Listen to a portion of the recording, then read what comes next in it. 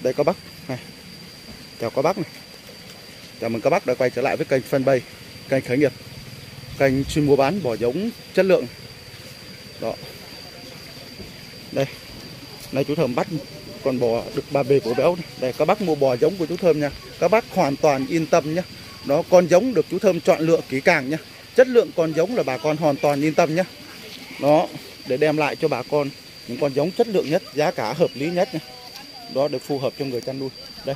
Đếm tiền luôn đi. Đếm tiền cho cho cho bà đi.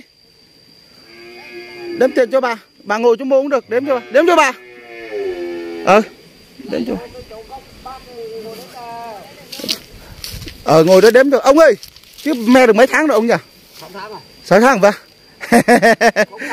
Vâng gì Trông đi để, để mau con bò đực cái này bò không đực cái này. À con bò cái chưa đi được vâng. Ờ, con À. mẹ chưa đi đực rồi. À con mẹ chưa đi được vâng. À à đó.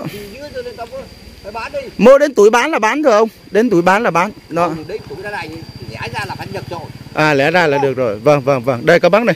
Đó mua bò nhà ông nha. Đây các bác ở trên xe đây cũng đang rất, rất nhiều hàng này bà con này. Đây, ở trên xe đang cũng đang, đang rất nhiều hàng này các bác này. Đó. Thấy chưa? Đó các bác mua bò giống của kênh khởi nghiệp nha. Đó là được chú Thơm chọn lọc kỹ càng nhá. Chọn lọc kỹ càng. Đó, để mang lại cho bà con những con giống này. Đây ra bên đây cho các bác xem. Để đem lại cho bà con những con giống chất lượng nhất, giá cả hợp lý nhất, phù hợp cho người chăn nuôi nha các bác. Chú Thơm là cực kỳ khó tính các bác đó các bác lưu ý nha. Chú Thơm bán hàng đã có thương hiệu rõ ràng hẳn hoi rồi nha các bác. Đó bán hàng đến phỏng vấn trực tiếp chủ nhà xem con giống nó có chất lượng hay không. Và giao bò là giao ban ngày ban mặt nha. Đó giao ban ngày ban mặt rõ ràng nha. Đó bà con lưu ý nha các bác mua bò mà những Các bác mua những cái thành phần mà nó nó nó nó chuyên chở bán ban đêm cho các bác là các bác lưu ý nha. Nhận bò vào đêm, ban đêm chú Thơm khuyên các bác không nên nhận bò vào ban đêm nhé. Đó rất nhiều người đã bị mắc lừa rồi và điện quay lại để nói chuyện với chú Thơm nhưng mà tiền các bác các bác tham rẻ thì các bác chịu thôi. Không ai chịu thay cho bà con đâu. Chú Thơm chỉ nói nhẹ ở trên kênh YouTube thôi. Các bác tự xem đỡ hiểu. Nó hàng chú Thơm không có để mà bán. Rồi, bà con nông dân ai quan tâm, ai yêu mến thì nhớ đăng ký ủng hộ kênh khởi nghiệp nha bà con.